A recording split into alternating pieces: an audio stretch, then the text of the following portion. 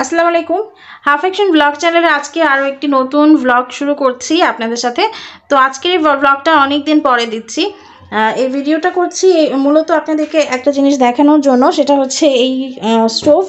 এই ক্যারোসিনের স্টোভটা আমি কিছুক্ষণ আগে সাবার নামাবাজার থেকে কিনে নিয়ে এসেছি। আর সাথে ক্যারোসিন নিয়ে এসেছি দুই লিটারের মতো। এটা আমি আসলে কিনতে বাধ্য হয়েছি, কারণ আমাদের পুরো সাভারে গ্যাসের, লাইনের গ্যাসে খুব সমস্যা চলছে। বলতে গেলে ম্যাক্সিমাম বাসাতেই লাইনের এখন কোনো গ্যাস থাকে না। একদম টানা সকাল থেকে রাত বারোটা পর্যন্ত কোনো গ্যাস থাকে না। তো সবাই অল্টারনেটিভ ওয়েতে কাজ করে যাচ্ছে। আমি এতদিন ইলেকট্রিক চুলা রাইস কুকার আর মাইক্রোওয়েভের উপর ডিপেন্ডেন্ট থেকেছি। এখনও আছি। তবে যখন সারাদিন সাভারে কারেন্টও থাকে না বিদ্যুতের সমস্যা হয় সমস্যা বলতে লাইন বন্ধ করে দিয়ে অনেক সময় তারা কাজ করে রাস্তাঘাটের কাজ চলে যখন তখন সারাদিন আহ, বিদ্যুৎ থাকে না। তো তখন আমাদেরকে তখন আর অল্টারনেটিভ ওয়েতে ইলেকট্রিক চুলাও আমি ইউজ করতে পারছি না। তো দেখা যায় যে সারাদিনের টুকটাক রান্না বাড়া বা বাচ্চার খাবার পানি গরম করা ইত্যাদি কাজে আমার তখন একটা অন্য কোনো কিছুর প্রয়োজন হচ্ছে। তো সেক্ষেত্রে আমি আর এই স্টোভটা নিয়ে এসেছি এজন্যই। তো এই স্টোভ আমি কখনো ইউজ করি নাই। কেরোসিনের চুলা কীভাবে ইউজ করে আমি আসলে জানি না। আমার কাছে মনে হয়েছে যে এটা একটু ভালো হবে। এটার দামও কম, মাত্র সাড়ে তিনশো টাকা দাম নিয়েছে। আর এটা আমার কাছে একটু সেভ মনে হয়েছে। কারণ আসলে আমাদের সেফটিটাও দরকার। কারণ অনেক সময় দুর্ঘটনা ঘটে যায়। বিভিন্নভাবে আমরা অনেক সময় নিউজ পাই যে গ্যাস স্টোভের চুলায় অ্যাক্সিডেন্ট হয়েছে বা এরকম কিছু। তো আমি আসলে এই জিনিসগুলোকে খুব ভয় পাই।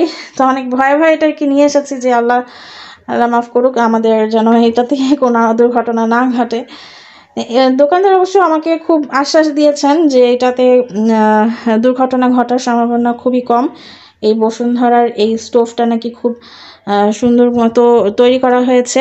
যেন ভিতরের কোনো গ্যাস না জমে থাকে, ওটাও নাকি বের হয়ে যায়।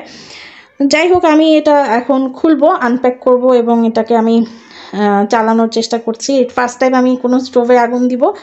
কীভাবে হয়, কীভাবে করে, কীভাবে বন্ধ করে চুলা সেটাও আমি জানি না। আমি ইউটিউবেও তেমন কোনো ভিডিও খুঁজে পাচ্ছি না টিউটোরিয়াল এটার উপরে যে আমি এটা দেখে দেখে এটাকে চালু করব বা বন্ধ করব।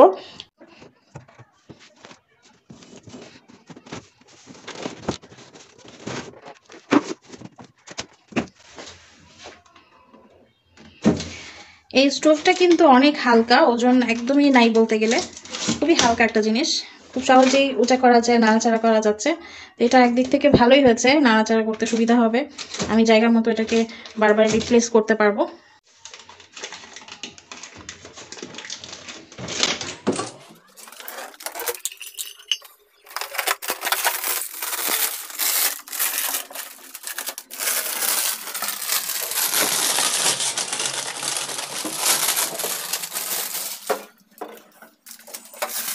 এই হচ্ছে আমাদের স্টোভ। এখন এইটা হচ্ছে বাড়ানো কমানোর সুইচ সুইচ আর কি বাড়ানো কমানো। ঠিক আছে। আচ্ছা এটা আমাকে কোনো ফ্ল্যাট জায়গায় রাখতে হবে আর কি। ফ্ল্যাট জায়গায় রাখতে হবে যেন এই যে পায়া আছে, দেখ, এই পায়াটা যেন ফ্লোরের সাথে বা নিচে টাচ খায়, সেরকম একটা জায়গায় আমাকে এটাকে রাখতে হবে। সেক্ষেত্রে আমি এটাকে বেসিনের উপরে রাখতে পারি।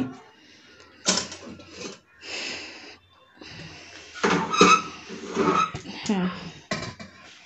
যে এখন ঠিক আছে। আর না হলে এটা নিচে, এটাকে কি টাচ খাওয়ানো যাবে না? এটা নিচে একটু গ্যাপ থাকতে হবে। এরকমভাবে এটাকে সেট করতে হবে। আচ্ছা ওকে এরপরে হচ্ছে ওনারা বলে দিয়েছিলেন আমাকে যে এটার ভিতরে সুতা যেটা থাকে, সুতলি, যেটাকে সুতলি বলে, সেইটা নাকি সেট করা আছে। এটাকে আমাকে কিছুই করতে হবে না। সুন্দর মতো সেট করা আছে। ভিতরটা দেখাই। দেখা যাচ্ছে কিনা জানি না, ওই যে সুতা, এই যে সুতা। হচ্ছে এটার যে ইয়েটা মানে ট্যাঙ্ক যেটার মধ্যে ইয়ে থাকবে, তেল থাকবে, ক্যারোসিনের তেল থাকবে, এখান থেকে আর কি তেলটাকে রিফিল করতে হবে।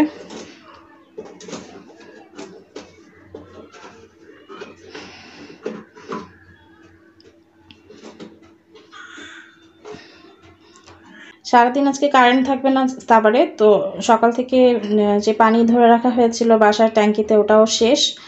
আমি এখানে তিনটা পাতিল ভরে পানি রেখে দিয়েছি কিচেনের কাজের জন্য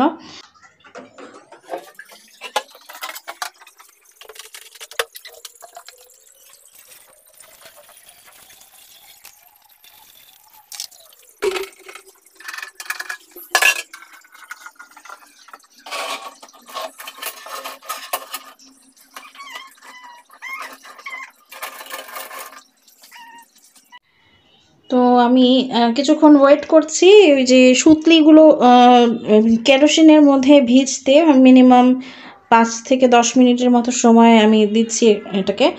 তারপরে আমি ম্যাচ দিয়ে এটাতে আগুন ধরানোর চেষ্টা করব।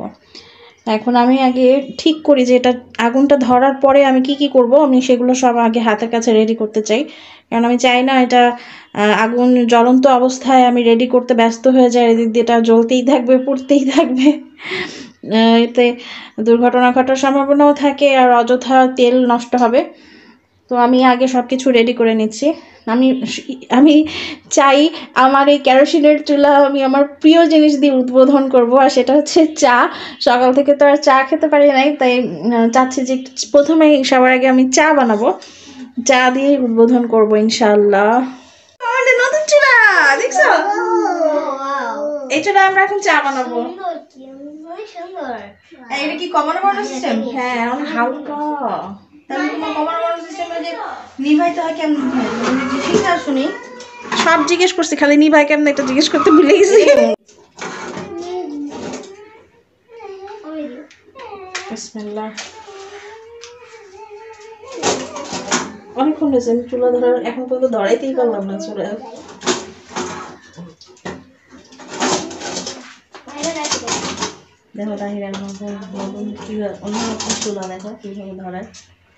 প্রথমবার আগুন ধরালাম। আগুন জ্বালানোর সাথে সাথেই একেবারে ধোঁয়া উঠতে শুরু করেছিল। আর পাশাপাশি যে পাতিলটা বসিয়েছি চা বানানোর জন্য, প্রচুর পরিমাণে কালি উঠছিল সেই পাতিলে। তো দেখে আমরা প্রথমে একটু ঘাবড়ে গিয়েছিলাম যে হ্যাঁ এরকমই মনে হয় থাকবে সবসময়, এরকমভাবেই রান্নাবাড়া করতে হবে। ধোয়া হয়ে যাবে, কালি হয়ে যাবে। কিন্তু আসলে ব্যাপারটা তা না। প্রথম সুতলিতে আগুন দেওয়ার পর মানে নতুন সুতলি বলে এরকম প্রচুর পরিমাণে ধোয়া উঠছিল। পরে এটা ঠিক হয়ে যায়। আর পাতিলের অবস্থা একেবারে বারোটা বেজে গেছে। কালি হয়ে কি অবস্থা? ফাইনালি আমাদের নীল আগুন ওঠা শুরু হয়েছে। এই যে আগুনটা এখন নীল নীল আগুন বের হচ্ছে। আর আস্তে আস্তে ধোঁয়া কমে যাচ্ছে। হ্যাঁ নীল আগুন শুরু হয়েছে নীল আগুন ওঠা এখনও সব মনে হয় জ্বলতেছে না। ওই পাশের পিছনের দিকে কয়েকটা সুতলি মনে হয় ভিতরে চলে গেছে।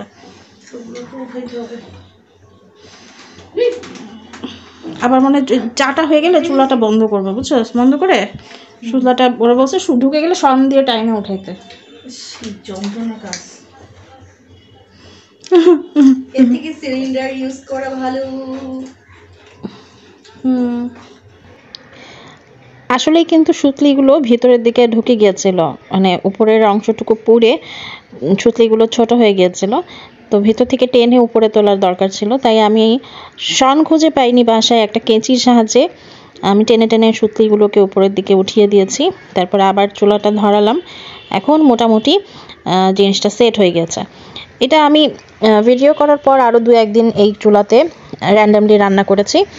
আমার কাছে মনে হয়েছে আসলে রান্না করাটা সহজ, যতটা কঠিন মনে করেছিলাম, আর ভেজাল মনে করেছিলাম, ততটা ভেজাল না। কালিও কম উঠে একদম সুন্দর মতো সেট হয়ে গিয়েছে। আর আমার বাম হাতে যে ফিল্টারটা আমি নাড়াচাড়া করছি এটা ঠিক মতো বসিয়ে ডানে বামে ঘোরালেই কিন্তু চুলার আগুনটা খুব সুন্দর মতো সেট হয়ে যায়। আর ব্যবহারের আগে আমি হাঁড়ি পাতিলের উল্টা সাইডে সয়াবিন তেল মাখিয়ে নিয়েছিলাম। এতে কালি পড়লেও কালিটা তুলতে সহজ হয়, আর জায়গায় জায়গায় কালিটা মেখে যায় না।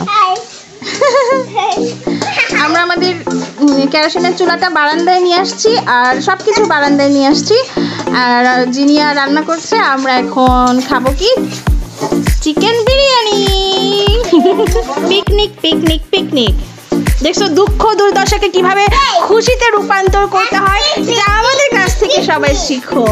আমরা কত কষ্টের মধ্যে আছি, আমাদের বসে গ্যাস নাই কারেন্ট হ্যাঁ। পিকনিক পিকনিক পিকনিক নশনী মিস করতেছে। নশানি অসুস্থ ঘুম শুয়ে আসছে নশানি ভালো লাগতেছে না।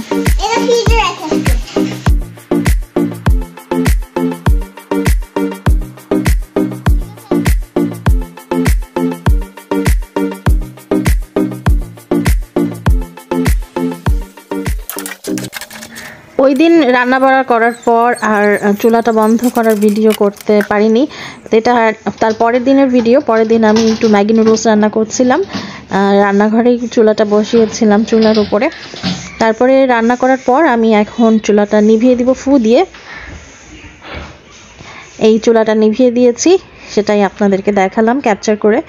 তো এভাবে চুলাটা জাস্ট একটু কমিয়ে দিয়ে তারপরে ফু দিয়ে নিভিয়ে দিতে হবে। তারপর আরেকটু ফু দিয়ে বা একটা ছোট কোনো কাপড় দিয়ে আমি যে যে অংশটুকু জ্বলছে এখনও ওটাকে একটু হাত দিয়ে চাপ দিলেই ওগুলো সব বন্ধ হয়ে যাবে, তারপরে আর ধোঁয়া উঠবে না। খুব ইজিলি চুলাটা কিন্তু বন্ধ করে দেওয়া যাবে। তো ক্যারোসিনের চুলার এক্সপিরিয়েন্সটা আজকের এই ভিডিওতে আপনাদের সাথে শেয়ার করলাম। যদি ভিডিওটি ভালো লেগে থাকে তাহলে অবশ্যই লাইক করবেন এবং কমেন্ট করবেন। আর আমাদের সাথেই থাকবেন। সামনে আবার নতুন কোনো কিছুর এক্সপিরিয়েন্স শেয়ার করব ইনশাল্লাহ সবাই ভালো থাকবেন। আল্লাহ হাফেজ।